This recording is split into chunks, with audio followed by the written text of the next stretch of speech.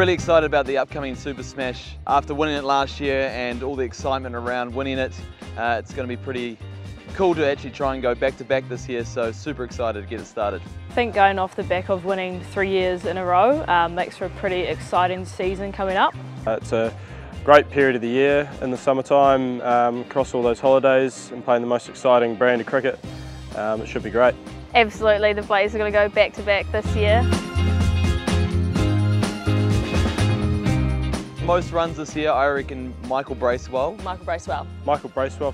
Michael Bracewell this season. Um, he's uh, in great form at the moment, so he'll be looking to take that through the rest of the Ford Trophy and uh, into the Super Smash. Probably Devon Conway again. Probably Devon Conway. Already he's been amazing for the Black Caps in his first couple of games. I think for the Blaze, I think it's hard to look past uh, Sophie Devine. You can't go past Sophie Devine, who just got Player of the Year at the Big Bash. Um, I think she's been in outstanding form, um, not only from last year through the Big Bash. I think Becky Burns, also known as Boomer. Uh, my player to watch is Rebecca Burns.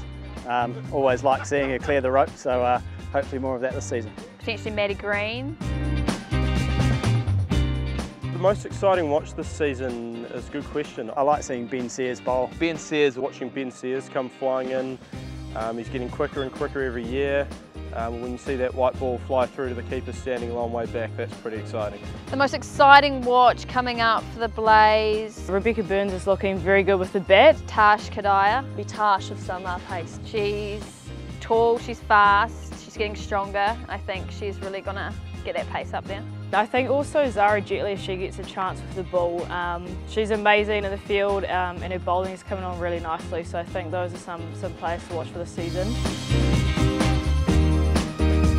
Highest wicket taker this season, It's hard to look past Hamish Bennett. uh, hopefully myself. Ollie Newton has a great knack of taking big wickets and hopefully Logan Van Beek's back in the mix by then and he'll be taking a few for sure. Hamish, Ollie, uh, Searsy, Mike's going to be bowling, Raj from Ravindra. The Blaze, uh, hopefully Jess Kerr. Amelia or Jess Kerr will be up there, the old sisters doing it for us again. As long as we win games, that's the main thing.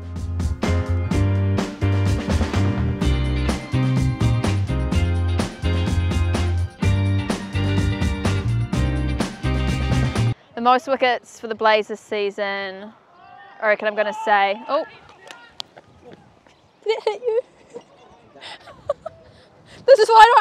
This is what